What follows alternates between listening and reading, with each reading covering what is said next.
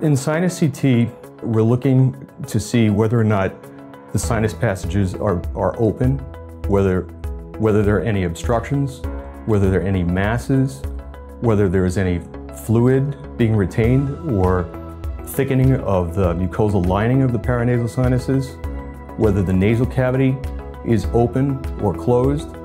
Uh, we're looking for a lot of things.